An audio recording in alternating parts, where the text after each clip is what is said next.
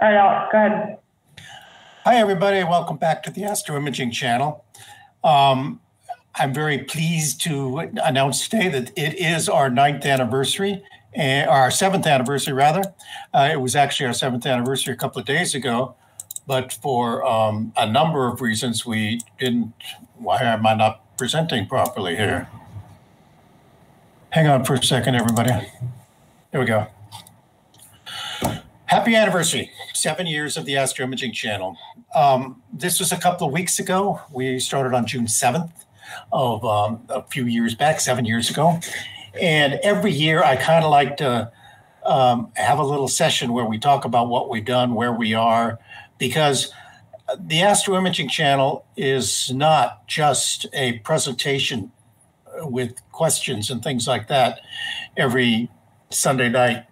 It's a it's a it's a group effort where we put a lot of work into getting speakers and presentations and things like that, and uh, we like to share it with you and tell you where we are because I mean you're all part of it, all the people who are watching this thing. So you, you should know where we are, and it's it's more than just the show. Uh, some analytics. We've had more than a million views in our seven years, and 200,000 of those came within the last year. That means that through the seven years, more than a quarter of a million hours have been spent watching the astro imaging channel programs at one time or another, either live or uh, when people come in later and, and, watch it. And for many programs, they get watched over and over. And for many programs, they get watched just one little part at a time because somebody remembered something. They went back and found that particular part and they watched that particular part again. Um, we have nearly 11,000 subscribers now. If you are not a subscriber, we strongly suggest you go ahead and, and click down there and become a subscriber. Uh, we have 2,000 subscribers have joined us in the last year. So that's our analytics. We're doing okay. There's more analytics though. Who are we? Well, unfortunately, we're overwhelmingly male. Now, I got nothing against males; they're okay, but um, I think that all hobbies are better if they represent the everybody okay? And we need more females involved in this. We made actually an effort to do that. Over the last year we had eight women make presentations on the astro imaging channel out of about oh, like 49 or something like that shows. We don't have too many young people but um, this demographic here surprised me. I thought we'd all be old farts really down here someplace. But in fact, we've got a pretty good mix of people all through most of the adult age groups. So I'm, I'm happier with that than I thought I would be. Uh, we come from all over the place. There are 81 countries altogether represented, most of them, 46% or something, in the United States. But like I said, 81 countries, mostly English speaking, but we got people from all over the world. Um, there are some milestones, some things that we did. Some of these are important because we set them as goals to do, and, and some of them are just interesting things. Uh, we passed 10,000 subscribers about Christmas time, and you probably remember if you've been watching the show that I spent a long time trying to encourage people to sign up because it means a lot of um, it means a lot to the, what we can do. Um, it enables us to get a larger reach Google pays more attention to us, YouTube pays more attention to us, and gives us more things we can do.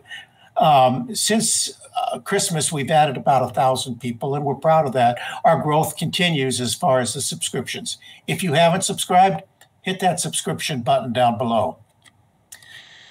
We have a full calendar by full calendar, I'll notice you'll notice that we've got somebody coming virtually all the time, and I wanted to um, I wanted to emphasize the fact that we don't have any more open sessions where we sit down and we go, I don't know, what do you want to talk about? I don't know, what do you want to talk about?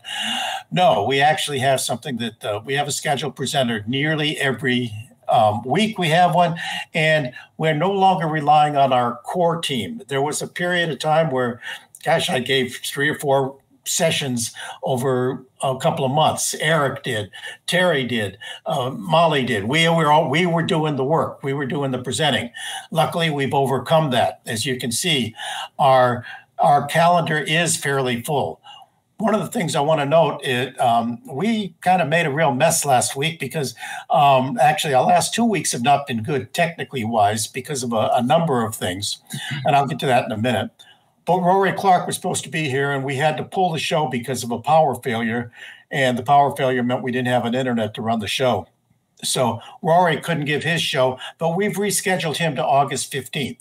So if you want to see Rory talk about his experience with his next dome building, it's going to be August 15th. Madison's here tonight, and Neil is going to be here next week with planetary imaging.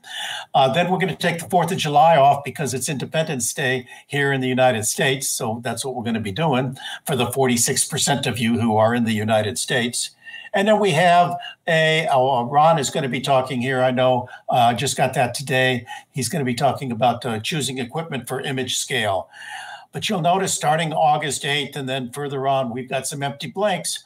We need more. So, but our milestone that I'm really proud of for this year is that we have basically filled the calendar and we're doing we're doing really well there. And that's something important to celebrate when you come to that anniversary soul searching as to how you're doing. Um, we've had a lot more contributions from from uh, participation by the club, by all you guys out there. You sent us a lot of comments for Neowise on Parade and you and Orion. Oh God, you had lots of Orion pictures, and you've got even more. Um, uh, of the uh, gorgeous galaxies coming in, but we won't be seeing those until mid uh, uh mid July or maybe a little bit later. Um, We've also done really, really well on something that I've mentioned a few times. We now have a database of all our programs. We're keeping track of all our programs. You can get a description of what the program was about, who presented it. If you need to find out something, it's no longer looking at little icons and trying to decide what the whole uh, program was about. And we're really proud of Wanda and the work she's done to make this particular thing happen. By the way, I've got to mention Arno. He's the guy that's doing the um, the, the, Galaxies uh, program, and we're really happy to have him aboard too. Um, one of the other milestones. kind of a cute milestone if you're into it. And we've actually sold 10 items. 10 items. It's cool. We sold 10 items and got a congratulations from whatever of that. Hey, congratulations, you've sold 10. But you can get swag. Swag is cool. And more seriously, um, four, five, three years ago, even when we um, got into this uh, astro imaging channel, we really didn't know who was um, paying the bills Okay. And there were bills. Somebody's got to pay for a website. Somebody's got to pay for um, various things that come up, uh, registration for your domain name. I don't know. There's lots of stuff computer wise. I don't know. Anyway, so we have to pay for stuff. And uh, somebody would say, God, we got a bill coming up here. Okay, I'll pay for it. Well, we've stopped doing that. As you know from last year, we incorporated so that this can go on forever. Even if I get hit by a bus or Eric or anybody else, any one of us disappears, the corporation as such still exists. Now it's a nonprofit corporation, and we do really appreciate the donations. And we've had some very substantial donations. I'm not mentioning any names because we've been asked to kind of keep it on the quiet who the names were. But um, and also there's some places where you can put in little donations on the YouTube website. We really appreciate when you do that. But the important milestone is that we are no longer wondering who's paying for this thing. Eric's our treasurer of the organization, and we're, we're doing we're doing well. We still need contributions, but at least we know where they are, where they're coming from, and that we will be able to continue this even if all of us go broke as individuals, the organization itself can present these shows for you. Mostly, I think the thing I want to talk about is the people. I put this on Gorgeous Galaxies, this help wanted thing. Okay. And I was, I got responses. I got people that wanted to do things and they're doing things. Um, for a long time, it was Adam. And by the way, Adam is still around. He still comes to some meetings with us now and then when we have to plan things and stuff like that. Alex, Tolga, Eric, Molly, and Terry, we've been around for a long time arranging presenters and trying to do stuff like that. This year, we're proud to have Tim join us. Wanda joined us and Arno joined us uh, to help us pull some of this off basically by asking people. So we've got a team of people that are doing it. And of course, we want to thank all our presenters, all of you who've gone out of your way to present a program. We really appreciate that. But all the people that, you know, we call the, the vendors, the, the good processors, all the people that we call, hey, they're doing it for free. They're doing it just because they, they love you too and they want to help out and they want you to make become better imagers. So we appreciate all that. That's the most important part of our organization is the service we do for you guys out there on the astro imaging channel. There's two ways to get a hold of us. Uh, you can hit that help one wanted button over in um, in uh, gorgeous galaxies right now or you can go to the contact part of the website and tell us your first name, your last name, tell us how you'd like to help, particularly um, if you'd like to help us with presenting the programs, figuring out how Streamlabs works, or presenters, or everything.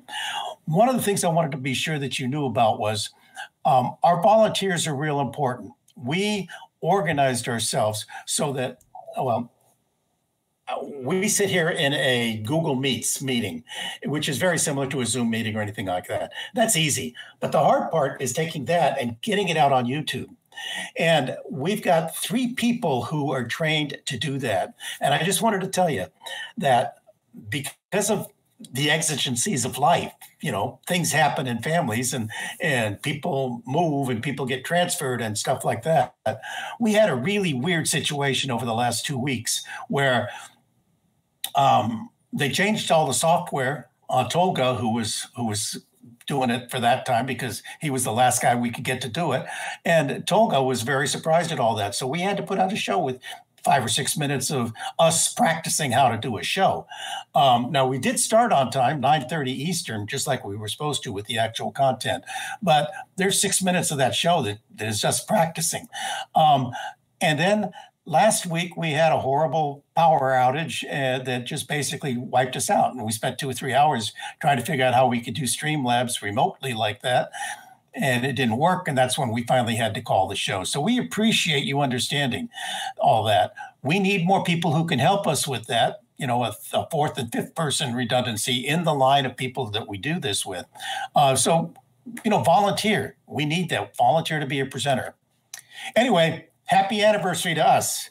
Madison is here to tell us about what um, he has done to build himself a um, portable, um, uh, no, a, a, movable observatory. Oh, why do I keep saying this? Why don't I just let um, uh, Madison, you out there? Yes, here. Take over, share your screen and take over. All right.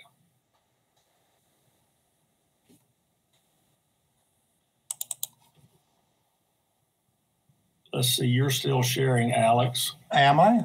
Yeah. I, okay. Molly, can you kill my sharing?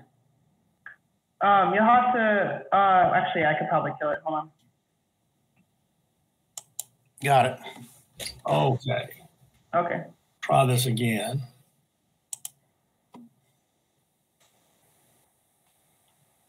Okay, how's that? Did everybody see it?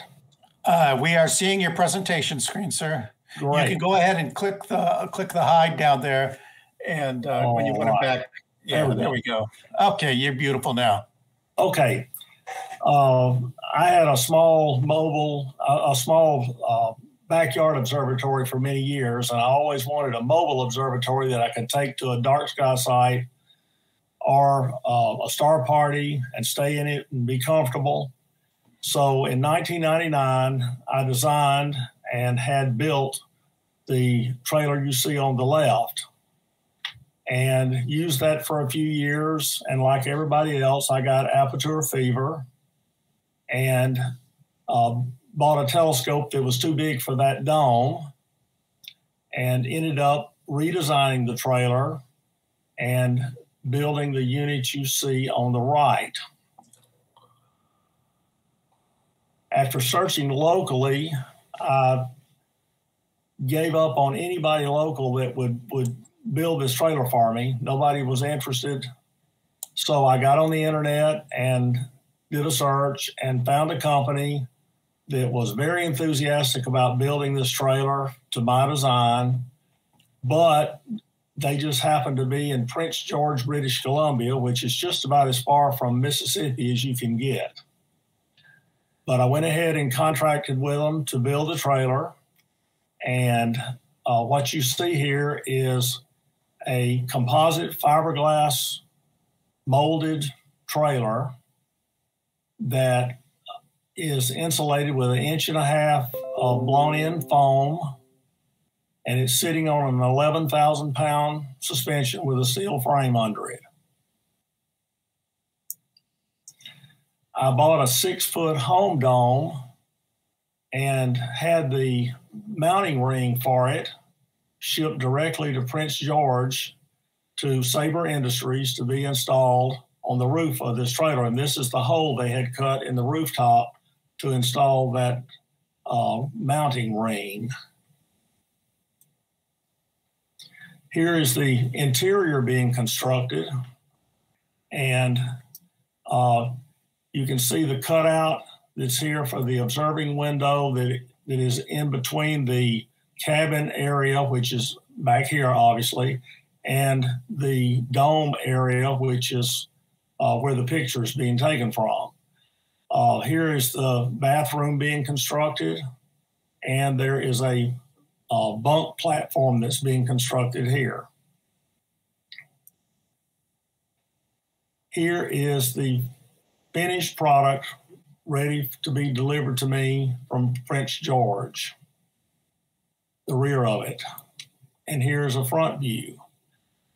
I bought this trailer uh, with a delivery date to be in July. Well, like all projects, it ran over and it was mid November before they were ready to deliver the trailer to me. And it was snowing like crazy. And being a Southern driver, I was a little bit nervous about driving to uh, halfway to Alaska to pick up this brand new trailer and return to Mississippi with it. So, uh, the owner of the company uh, generously offered to drive the trailer halfway and get it across the border and meet me in Billings, Montana. And I still got into a blizzard getting to Billings, but I made it back safe and sound with the trailer.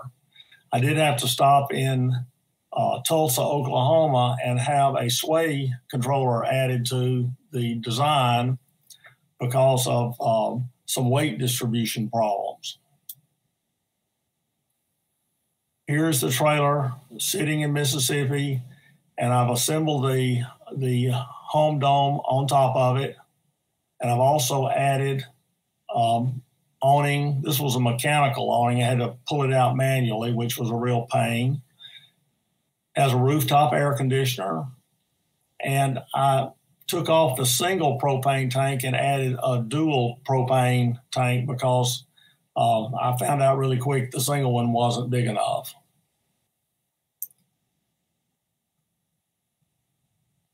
Here's the trailer set up for use.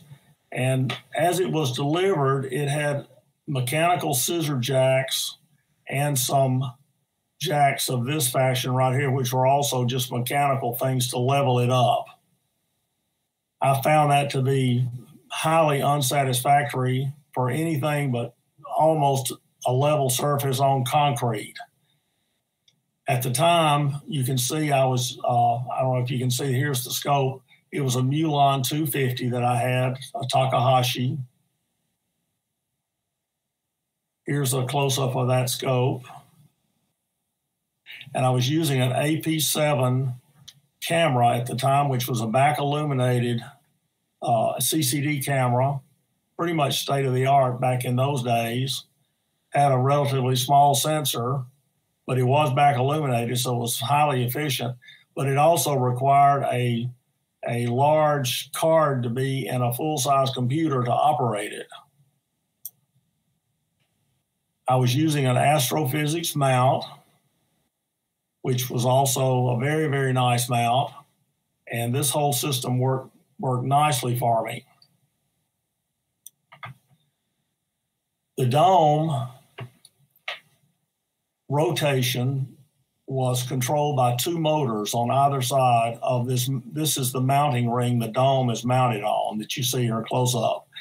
and this is the motor that drives the dome. Uh, these wheels turn, and it's just a friction drive. There's one on either side of the dome, and this synchronizes the dome to the telescope. Well, as delivered, these motors were very, very noisy. It was a it was a different motor than this one, and the, one of the first things I had to do was uh, find a motor that would be quiet because every time that dome would start to move, it would wake me up if I was trying to sleep while I was imaging. So this happens to be a 1999 Cadillac window regulator motor, which, uh, thanks to Cadillac, was super quiet. And the dome would just move and, and it was just totally uh, noiseless. To the right of my desk, uh, I constructed a small bookcase so I could keep my reference manuals. I've got a small fridge, very small fridge, only held a couple of six packs of drinks. a small AC powered microwave. And uh, you can look through this window here, which is the in, inside the dome room, and you can see a breaker panel and some other electrical equipment mounted on that wall, which was a very bad mistake on my part because uh, in the dark, I would bump those breakers and cut things off that I didn't mean to turn off and uh, maybe kill my mount or kill something else. And then I'd have to start all over. So uh, when I redesigned the trailer, those got moved. Here is the hole in the floor of the observing deck. The, the back end of the trailer had two floors separated by uh, about two and a half feet. And this hole was in that upper floor so that the uh, pier did not touch the floor at all.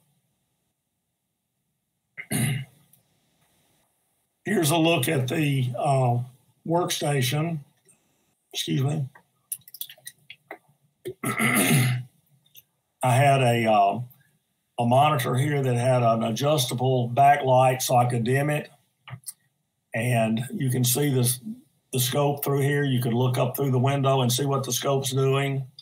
All the lighting here uh, is red and white. And this whole area back here is heated and air conditioned, while this area, of course, stays ambient temperature. Here's a close up of the workstation, the controller for my uh, inverter charger. This is a watt meter that tells the battery usage and battery life. And of course, the monitor, mouse pad, keyboard, and um, this little control would manually move the dome if I needed to. And then this was a controller for the telescope. Here's a narrowband image that I shot through that rig years ago. Uh, I guess everybody needs to guess what this is, but I think it. Uh, I think everybody knows it's M42. Looking through one of the side uh, doors, access doors, this is in between the two floors of the trailer. This is the bottom of the trailer, and then there's a floor right above this that you can't really see this is one end of the tripod that supports the pier. And each end of the tripod has a screw jack, just like this one. It goes down through the floor. The floor does not touch the jack frame at all. And these jacks, because I got uh, the floors were so t- close together, I didn't have room to put the motors on the jack, so I used a um, I left a hole in the floor above and used a, a manual uh, crank to crank these jacks down. After having the trailer a very short time, the, the original uh, trailer jacks to level the trailer were, as I said, highly uh, uh insufficient. So I bought a self leveling jack system from Power Plus, which is a great system. It had four jacks like you see here, two on the front, two in the back. And this control unit, all I have to do is hit this auto extend button. The jacks go down, the trailer comes up, and it's level when it stops. Uh, this is the power unit for that system, and lots of extra wire rolled up. When I got the trailer, it came with a 1,000 watt in, inverter charger and a 500, uh, I mean, uh, excuse me, a 50 amp charger. And I found the 50 amps to be insufficient, so I quickly updated to this Xantrex uh, 2000 watt inverter, which charges at 100 amps. The original design of this trailer had this slide out storage area for a portable generator. And I quickly found that most national forests do not want you to use this type of generator while you're in the forest because of a fire hazard. So uh, I quickly decided this was not going to work, and in the new design, that's been eliminated. As I said, I got Aperture fever, and this is a, a an RCOS 12 and a half inch truss telescope um, with their control system mounted on it. As you can see here, the focuser's on the front end of this scope. Uh, I used an Optec filter wheel, which is this is the control unit for it and I bought a new Paramount ME for this this to sit on. Uh, buying the ME caused me to have to cut the pier off six inches, so that was a, a fairly big job. To because this this mount sits higher than the astrophysics mount. But even doing that and trying my best to to line this thing up, uh, when I would balance it, I had to be so careful slewing uh, not to run into the side of this dome. It was just unusable. To accommodate the fact that you never know which direction the trailer is going to be parked in, uh, this is the top of the pier. And this pier was rolled by a local company that builds uh, gasoline tanks. And they rolled it out of 1 8 inch aluminum and did just a great job for me. Uh, they put some some screw uh, uh, they welded some bolts onto the side of it here. You you can't really see them, but these uh, hand screws go through those those holes, and the hand screws tighten against a a one and a half inch thick aluminum plate that is inside this top, and the plate is bolted to the mounting uh, plate that comes with the paramount. So I can loosen these. There's four of these hand screws. I can loosen them, and there's a there's also a groove that's cut that's milled into that plate, so that the whole thing can't tip out of the top of the out of the top of the pier when you loosen it. But you can rotate it, and I can rotate this thing 360 degrees, and then lock it, and then fine tune it with a normal adjustment that's on the the mount itself and you can see what a fine job of cable management I do with my system. And that's a joke, by the way. After taking the dome off the top, I, I donated that to a school and cut this square hole in the top of the trailer. And I thought to myself, oh my goodness, what have I done now? Because I had the whole thing torn up and it was going to take a long time to fix it. And um, so I, I, I lined the edge of this hole with uh, pre-cured fiberglass, which is nothing but uh, uh, three eighths inch thick fiberglass board that I purchased in a big sheet, four by eight sheet, and cut the strips out of it that I needed to make these sides out of, and bonded them onto the side of the trailer. The lid had to be molded. It couldn't be flat because when you park the telescope, it sticks up above the top of the trailer. So I needed this lid to be curved to accommodate the telescope in the parked position. So after I determined how much it had to stick up, uh, we built this lid uh, out of carbon fiber, half inch aircraft foam, and then another layer of carbon fiber. And I was trying for super strength and low weight. And the whole lid, after it was finished, weighs 35 pounds. And I can jump up and down on the thing and it does not move.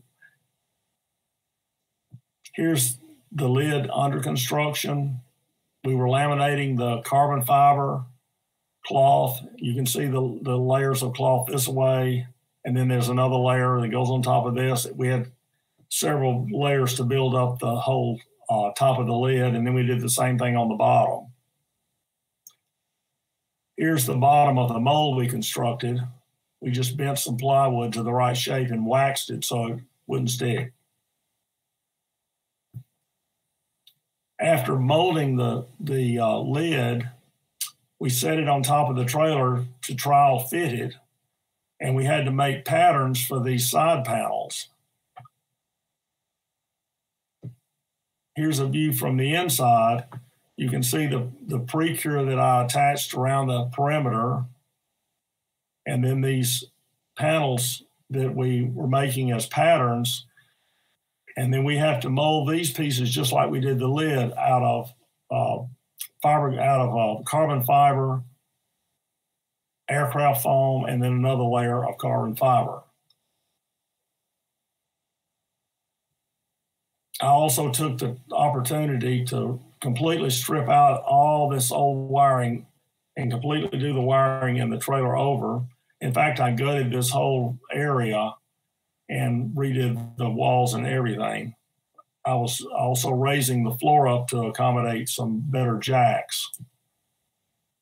Here's the lid finished and in place as a trial fit. And there it is from the outside. And you can see we're doing fiberglass work on the outside of the trailer to make that joint nice and neat.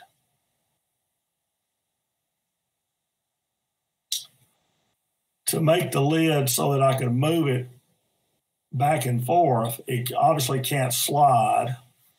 And I did have an air conditioner sitting here. And my, my original plan was to have two arms and let this whole thing swing over and, and rest on top of the air conditioner. But that was too unwieldy.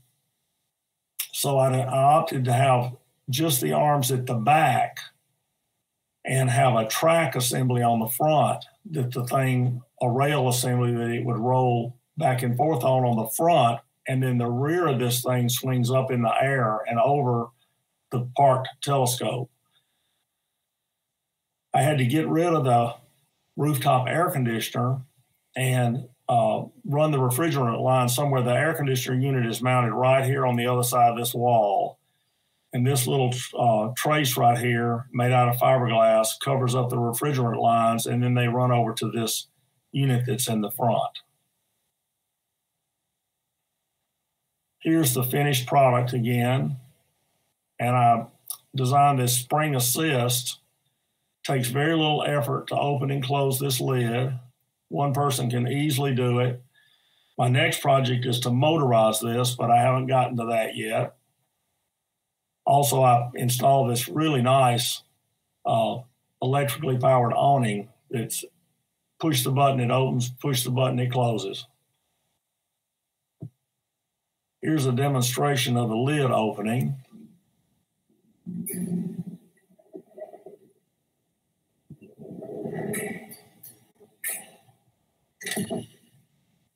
Just as easy as it can be. On the back of the lid, I've got two latches like this to latch it for transport.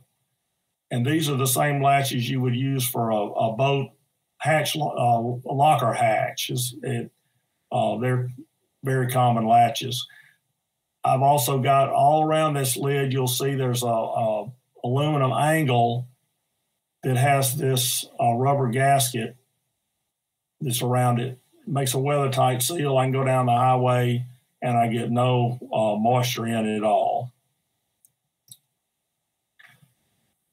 the equipment that I use in this trailer is the uh, Paramount ME, which I have uh, re uh, I mean, uh, rebuilt to have the 5000 control system in it.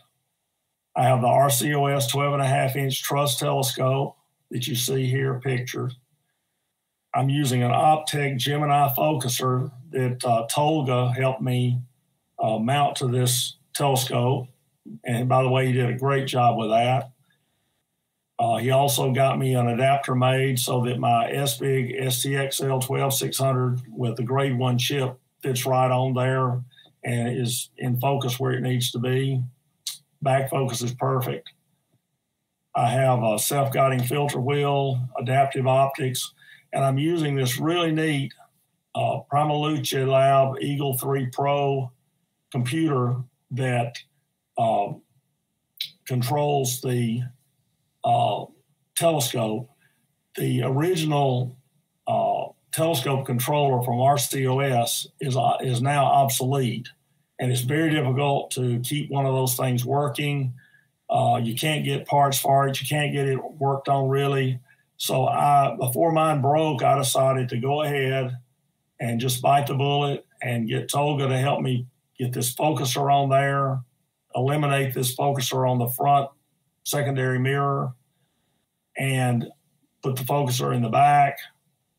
Um, but the temperature control for the mirrors, there's a heater on this mirror, and there's internal heaters here that I installed on the on the primary mirror, and there are fans back here that were controlled by the um, original control unit.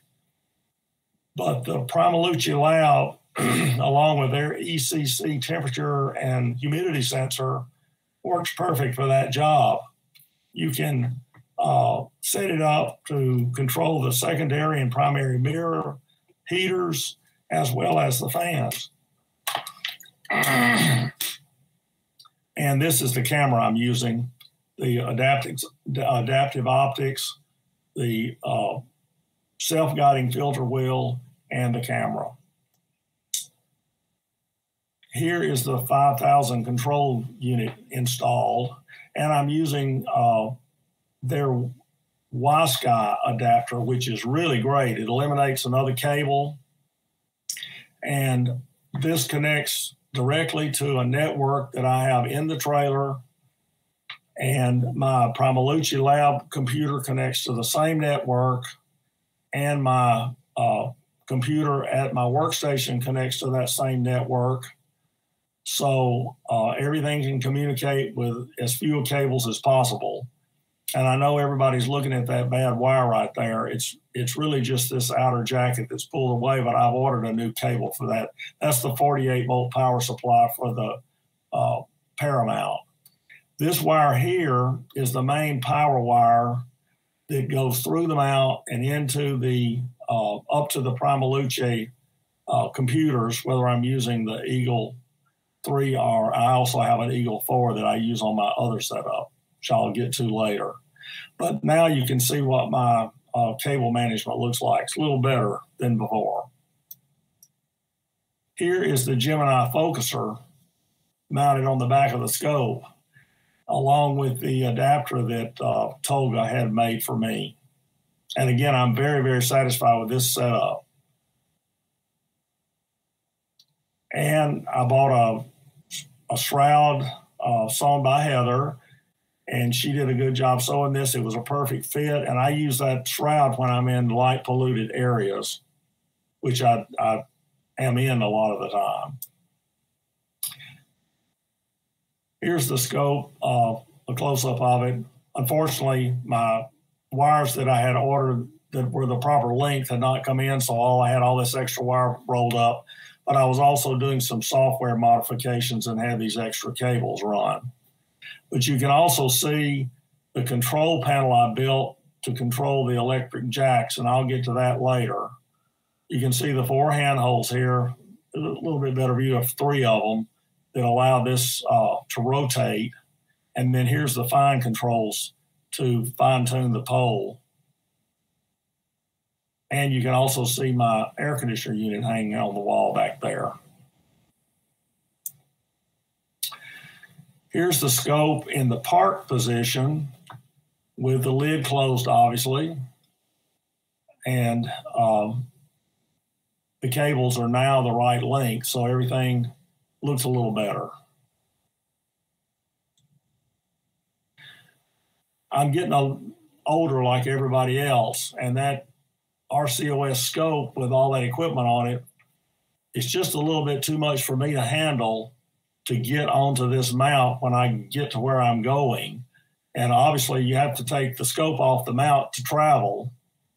So I decided I would buy a smaller telescope that I could handle by myself. And I decided to get this Takahashi FSQ 106 ED4.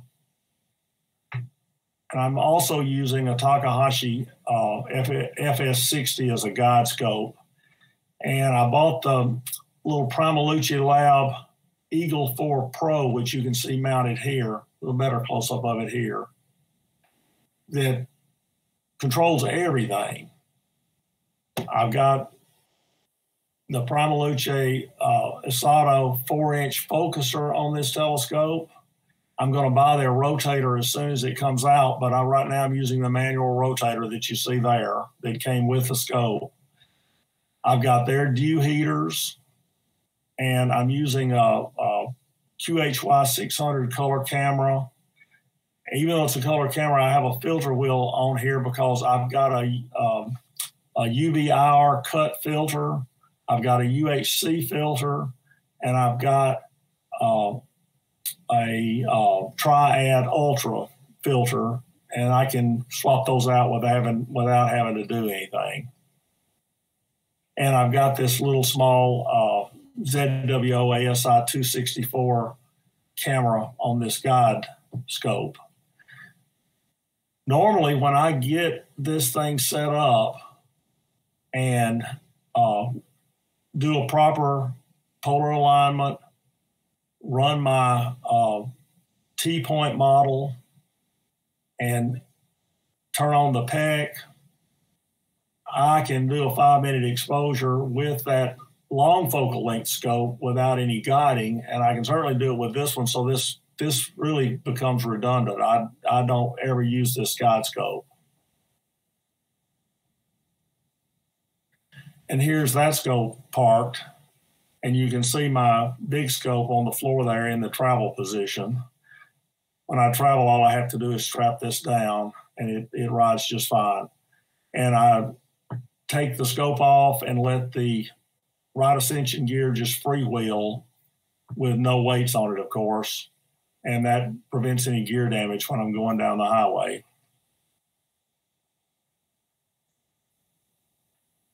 Here's the little room air conditioner that I bought that replaced that rooftop air conditioner. It's a 700 BTU unit.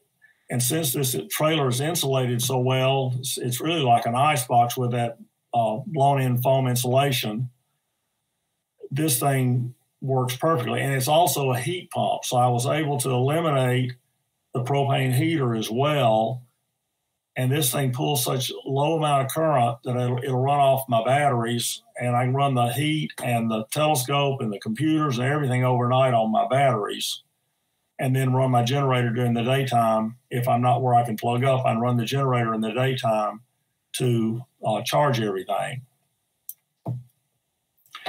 Of course, you've got to have a bathroom when you travel. So I had this small head constructed. I don't know if you can tell by these views. Anyway, this is a small toilet, and over the toilet, I've got a towel uh, shelf constructed here.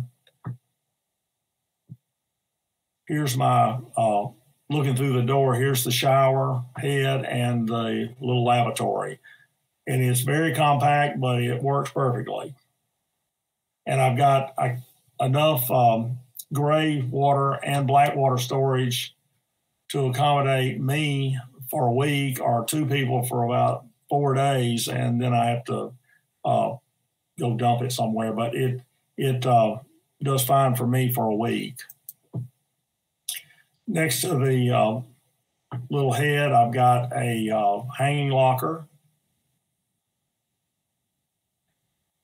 This is the lower bunk slash sitting area during the daytime. This upper bunk folds up into this position and locks so that you can you can sit here or lounge here. And uh, you see my little doggy bed there. I've got a small dog that travels with me.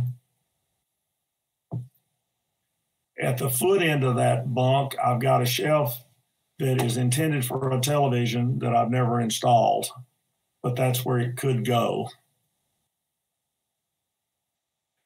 The upper bunk folds down. You can see the latch for it. That that's when you push it up. That fall. That's this little lever falls down and locks it. But then the upper bunk is in the, the sleeping position now, and all you got to do is roll a sleeping bag out on top of that. It's very comfortable.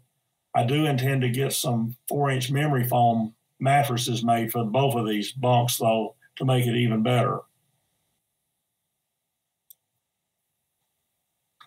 I improved the uh, cooking facilities.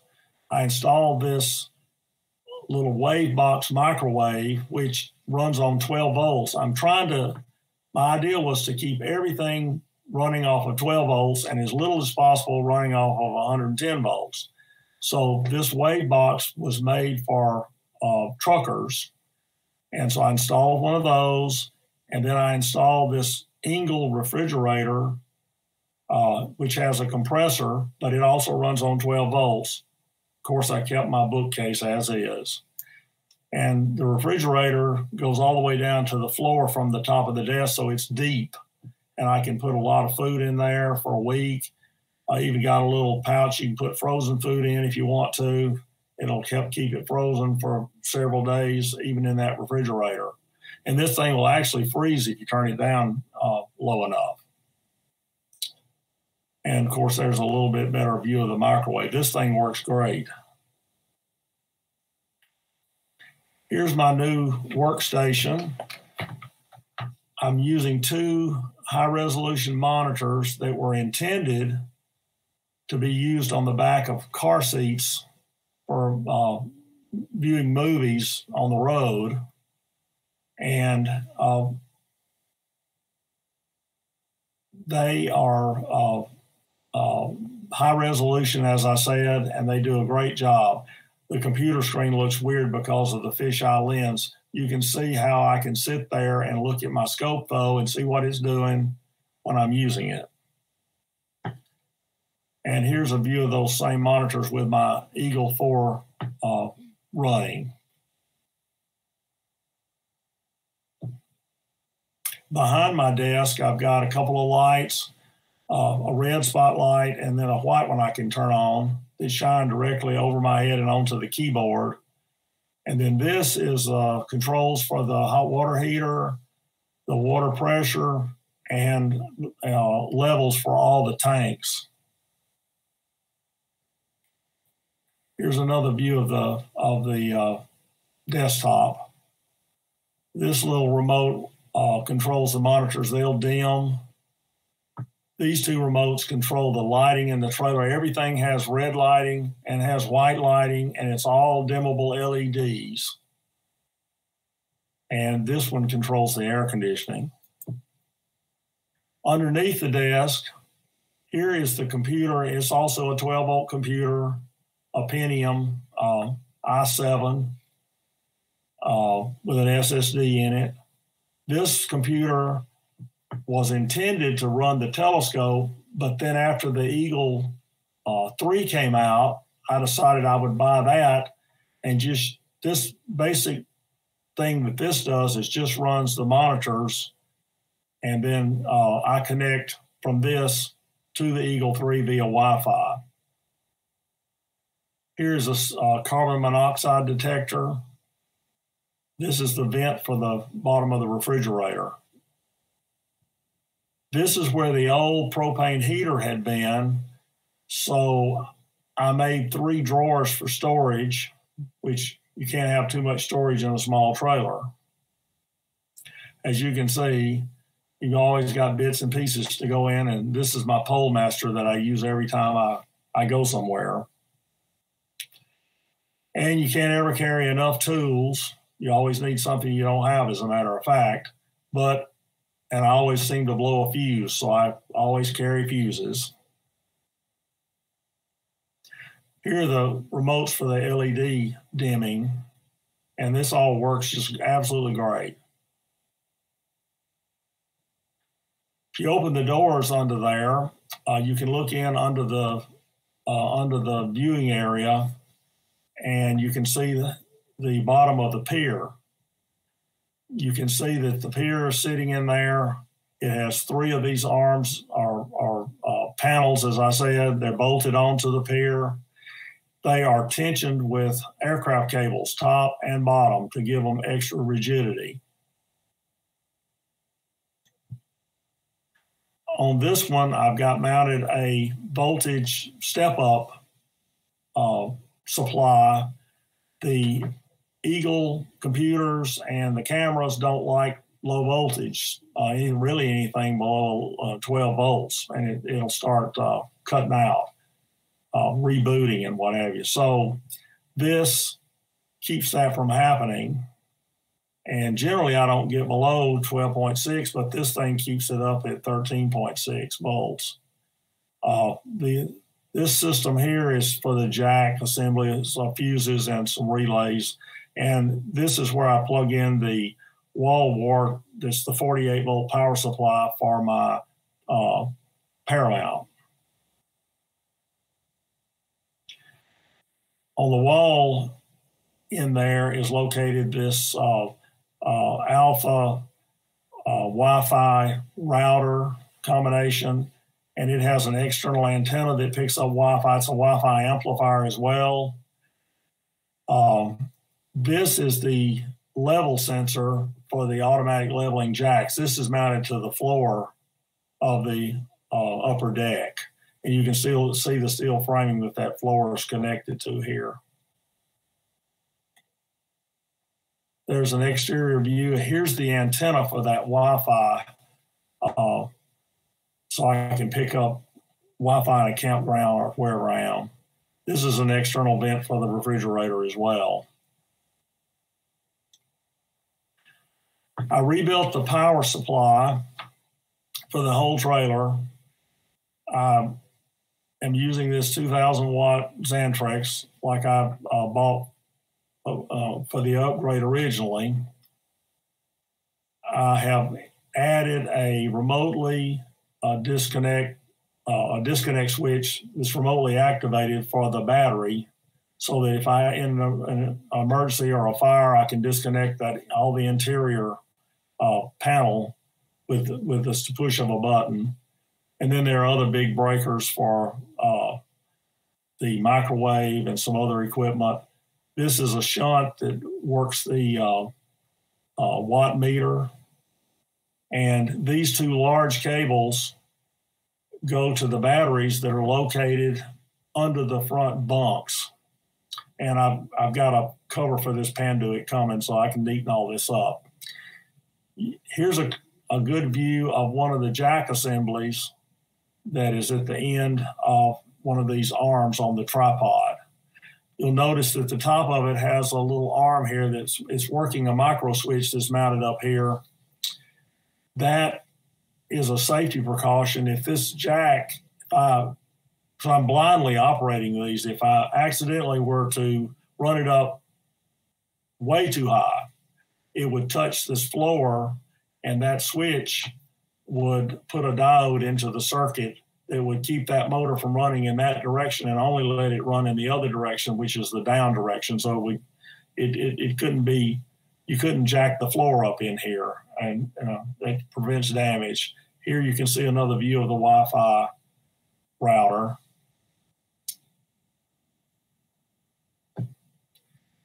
Here's the control of the uh, uh, power panel on the inside of the trailer. I've got an AC panel here, a DC panel here with some safeties over these two switches. This one is for the, the trailer jacks. I don't want that being accidentally turned on when I've got the telescope installed, uh, jack down because uh, you, you, you, can imagine what would happen if you lowered the trailer and had the telescope uh, in the down position. Uh, this is the switch that controls this panel. This panel has a voltage regulator on it as well that is the voltage going to all the computers and all the other electronic equipment. This uh, is the uh, generator starter, solar controller. This is the control panel for the uh, charger inverter. This is the watt meter and battery usage indicator. And this is that emergency shutoff that I talked about. And you can also see through there, you can see the telescope back in there through the glass. Here's a close up of the Power Plus leveling system.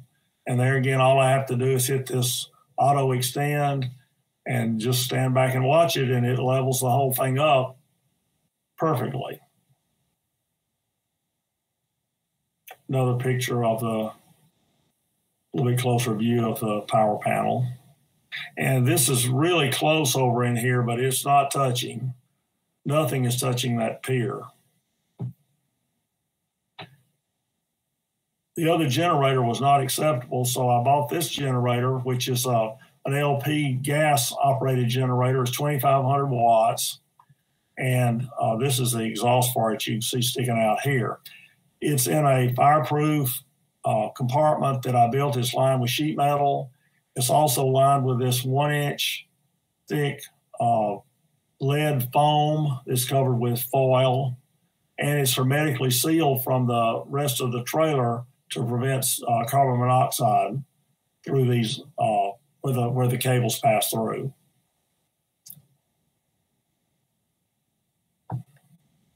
And like any other generator, it requires a transfer switch, so that's what that is. In the very front of the trailer, under that front bunk, I've got this great big box here, which I didn't open up to take a picture of what's inside, but there's two 8D batteries that weigh about 150 pounds apiece in this box. And those very large cables from the back come through the floor back over here. There's a conduit where it, comes up, and there's also a great big fuse over here. Uh, you can see the top of one of the front automatic leveling jacks right there. Over on the opposite side are the water tanks, and these two are freshwater tanks. This was the original tank, which had 50 gallons, and it just wasn't quite enough. So I added another 30 gallon tank, and these two are just connected together so they empty at the same time. And uh, you can see my hot water tank over here and another fuse block that controls uh, everything that uh, has to do with uh, hot water ignition and other electrical stuff in this compartment. Here you can see the top of another jack, the opposite corner, and my uh, pressure water pump.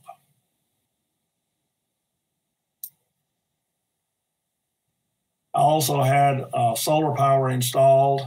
It's only uh, 100 watts, but it does help to keep the battery topped up if I'm just if the trailer's just sitting out somewhere remote and I'm away from it during the week, which I have done before. This just keeps the battery topped off. You can see the uh, rails that the lid slides along. There are two linear uh, bearing blocks right here and right here, and it slides up this incline to here to open. And there's a there's a hinge here and here on top of the bearing blocks that allows that lid to pivot. This is this picture is taken from the inside as I'm opening the lid, and you can see the the bearing block here and here, and then it it had to be on that incline in order to clear this vent and the solar charger.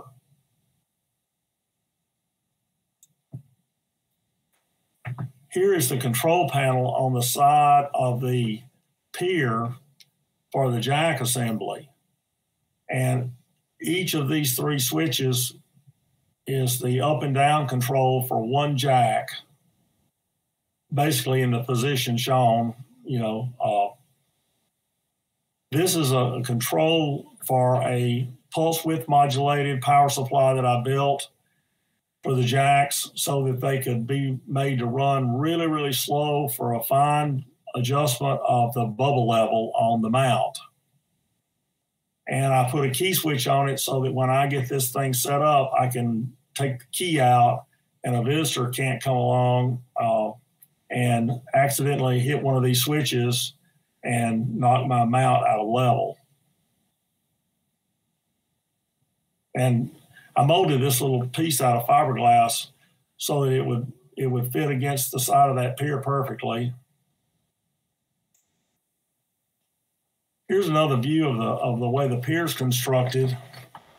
Inside this hollow aluminum tube, I had a uh, piece. It's, it's, it's a donut shaped piece of uh, three quarter inch thick aluminum that's welded inside here to act as a, uh, a brace inside the, the, uh, the pier.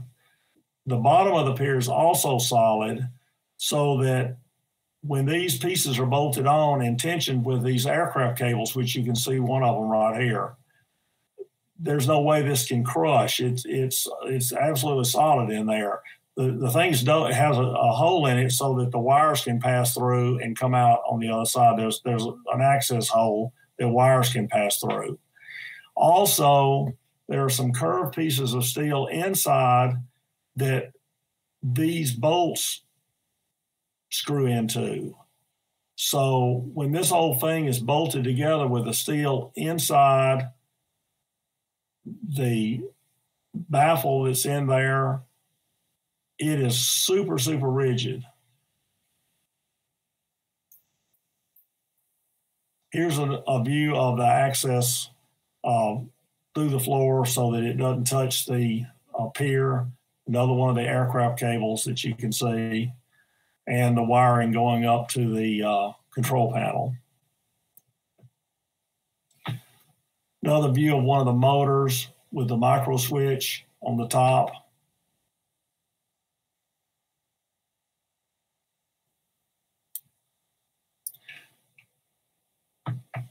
When the trailer is in the in the uh, used position, you can see two of the uh,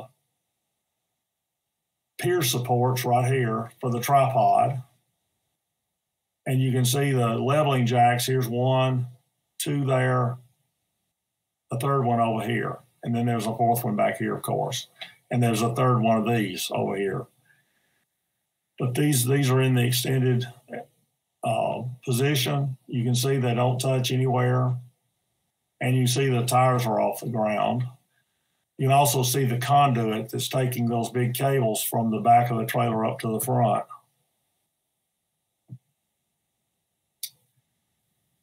another view of the of the way the tripod's constructed, you can see it absolutely doesn't touch the floor in here at all. When it's extended, it's not touching anywhere.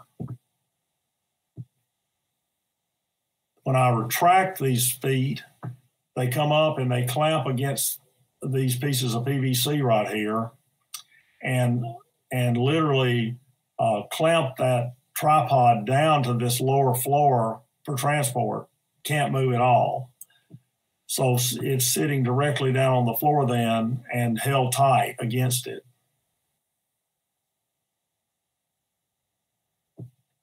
And here's the trailer pushed into its uh, uh, protective place. Uh, the storm was coming this past weekend. I shoved it in to get it out of the weather. So uh, that's the way I can store it when I want to. And that's my presentation. Oh, that's really, I mean, that's an exceptional piece of construction. Uh, I won't even ask you how much the whole thing cost to put together. I don't even know how much the whole thing costs to put together. But there, there are some. Uh, I think what people would like to hear a little bit about is some of the adventures and some of the images that you generated with the trailer. Also, just a question I have: uh, the when you're parked and ready to image, the pier is anchored to the ground or concrete slab or something of that nature. Is that correct? It's sitting on the ground, separate, And- from, separate from the trailer, Isolated from anything inside the trailer. completely isolated. So, do you want to tell us about a few of your adventures in imaging and Well- taking the trailer out? You know, the, the thing is, I've, I've had this trailer a long time, but I haven't taken it as many places I, as I probably should have. I've just I've just retired, so I'll be taking it uh, to a lot more places soon. I hope. And uh, for about ten years, I, I was so busy working, I didn't have time to use it at all, so it just sat. So. Uh, it's a shame it, it, that that happened, but it did. You know, work and life gets in the way. But I've, I am doing some imaging now, and and I've I've just got that new setup with the with the Takahashi scope just in time for uh, uh, all the uh, nebula season, and I'm ready to to get started with that. I do take the trailer up to French Camp, Mississippi. I belong to a, a little group called the Astro Amigos, and we go up to uh, the Rainwater Observatory is kind enough to let us come up to their dark sky site, which is up in North Mississippi, and it's a it's a great site, and it's at a at a, a private school up there, and uh, they're very kind to let us use their facility, and and that's where I usually go with this thing. Have you uh, used the the AO with the the RCOS? I have, and it works. It works great. Yeah, I think Chandrasekhar wanted to know a little bit more about the um, the AO unit, the SBIG AO unit. Now, I know we don't have time for a whole exposition of um, adaptive optics, but tell us a little bit about your experiences with that, would you? Well, it it um, it's hard to say. I've I've always used it, so I don't I don't know much about how it would be without using it. so Okay. uh, it I do know that I get very round stars. I mean, and, and I, I I can image on nights when uh, normally there's there's upper air turbulence and stuff, and and and you normally just kind of give up, and yet I can come out with a pretty good image most of the time. So uh, it does help. It has to be helping. Do you have any images you'd like to show us? Uh, not on not on this computer. I do not. Oh, what a shame. Yeah, Can I I'm jump sorry. in with the- can, I, can I jump in with something about the AO? what now? Uh, can I jump in with something Oh, about yeah, the AO? Absolutely. Uh, so with, with the uh, oh, what's good? Oh, I just I just lost my train of thought. but yes, it's more suited for longer focal length instruments. Uh, when you use an AO, your uh, this is for Chandra. Your um, framing can be a little bit more critical because you would need a suitable guide star somewhere up to around you know like say meg 8 to maybe meg 10 or something That's without exactly a, right. without without an AO, you can actually go a bit longer and, and guide on a dimmer guide uh, guide on a much dimmer star. So that is something else to factor in. So finding the appropriate star is a little bit more challenging with an AO. You're absolutely right about that. It Oh, can be quite challenging, in fact. Well, the the AO is designed to keep that guide star in place optically, rather than bumping your mount, which is your standard guiding. So, and you're probably at the I don't want to say the lower limit with the uh, the RCOS, as opposed to you know it would be of no value putting it on on the 106. Oh no, none whatsoever. I, And- I don't intend to use it at all on that one. And Chandrasekhar, no, it is not adaptive optics in the sense that um, adaptive ad- adaptive optics has lots of different meanings to lots of different people. And you asked, is it laser guided? No, it's not laser guided. What it um, it's a very very fast uh, tilt tip mirror, right? That's exactly Yeah. right. It Yeah. has it has I think three actuators in it, which which again adjust those mirrors inside the Right. AO in order, order to keep the, the guide star in position. But it's think- using it's using a guide star. Yeah, and I think of it as just a very fast auto guider. And Yes. Eric is correct. It just it's, Yeah. it, it has a little refractive element in the middle that bends the light back and forth. It's always chasing the seeing. It doesn't Yeah. improve your optics, but it is a very fast auto guider. Yeah. So, and, and again, um, we don't have a lot of time to go into completely everything you need to know about adaptive optics. And the SBIG system is not, is not the same uh, system that shines um, a, a sodium-based laser off a off the um, upper stratosphere that's 70 kilometers or something like that. No, it, No, it that- isn't that. Isn't Totally that at all. different animal. Okay, I have a question about the trailer, the mechanics of the trailer, Yes. if I may. Um, I, the two floors are confusing me. Do you have two floors running the whole distance of the trailer? No, just in that back observing room, there's there's a set of steps. I should have taken a picture of them. Okay, They go up uh, right beside my desk to the left. That little folding fan folding door. Let me see if I can get to a picture. well, that's okay. It's, it's just, it's just the there's the main floor of the trailer, and then there's a a platform up above that. That's correct. How big is the platform above the regular? Uh, that that area back there is about eight by eight. No, how how tall is it above the regular floor? Oh, oh, oh. Uh, 36 inches now. Oh, it's that tall. Okay. Yeah. Okay. Um, how tall is the entire trailer compared to a regular stock trailer? It doesn't look like right now it's any bigger than a standard travel trailer with an air conditioner. That's right. It's not.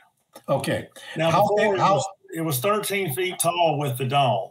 And that uh, that can actually get you in trouble in some places. It can. You have to watch for for bridges that are low, and uh, sometimes I would think it was going to hit something when it wouldn't, but it would just look like it was close.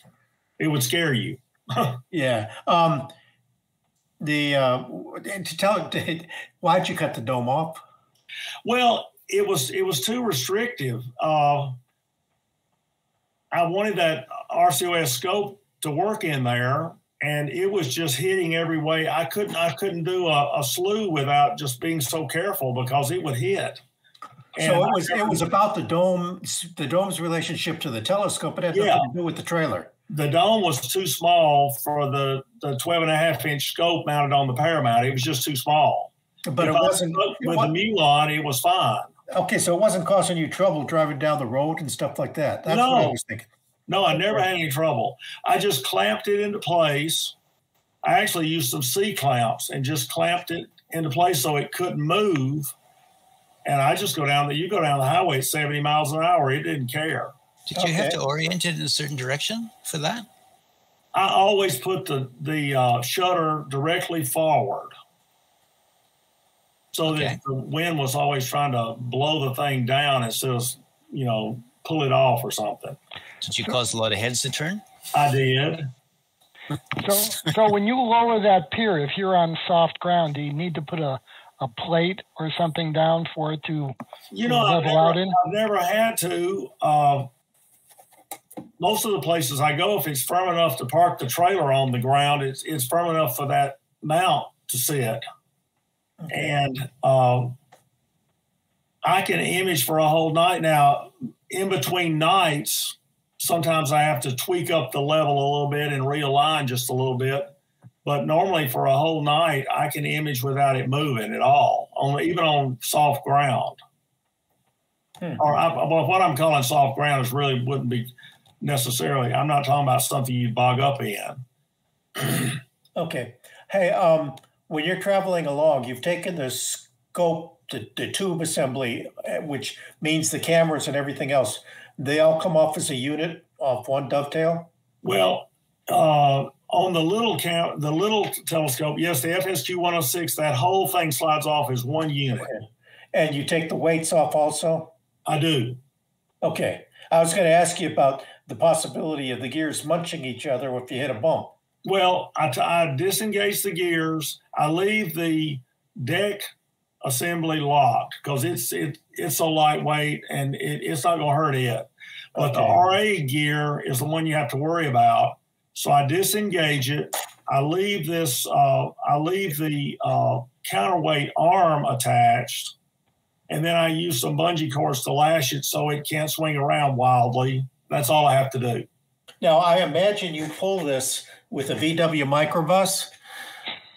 yeah, yeah. Uh, actually, with my Tesla. Really? no, no. That thing weigh? Oh, you had me going. Okay, that was not I, nice I of you. I had an eleven thousand pound suspension put under it because I didn't know how much it was going to end up weighing. Yeah, how much? But it weighs eighty five hundred pounds, and my Ford F one fifty is good to pull uh, nine thousand pounds. So I'm I'm perfect.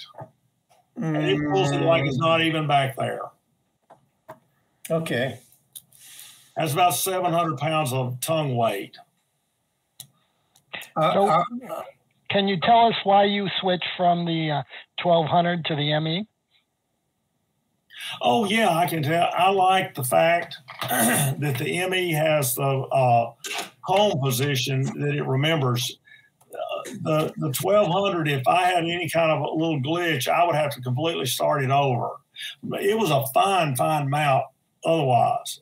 And I think now they they have the same basic software that uh, ME has. Plus the ME, you know, it had it had uh, uh, the TPoint modeling and all that you could do with it.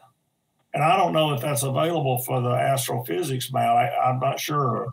It, it, it happens to be with um, with upgraded software and the encoder system. Yeah, well, I never ever had a problem with it though. I mean, it was a it was a workhorse, and I had it in my little dome in the backyard uh, for a long time, and I enjoyed that mount. And uh, I actually went to Astro-Physics and visited Roland up at, at the at his uh, factory and was very impressed with everything they do. Okay, I've got to announce. Hey, get your questions in if you've got any more questions in there. Um, and you're getting a lot of compliments there, Madison. You'll well, be able to read I that appreciate later. It very much. And I want to thank you guys for all the hard work you do for this channel. It's a real asset to the uh, amateur astronomy community.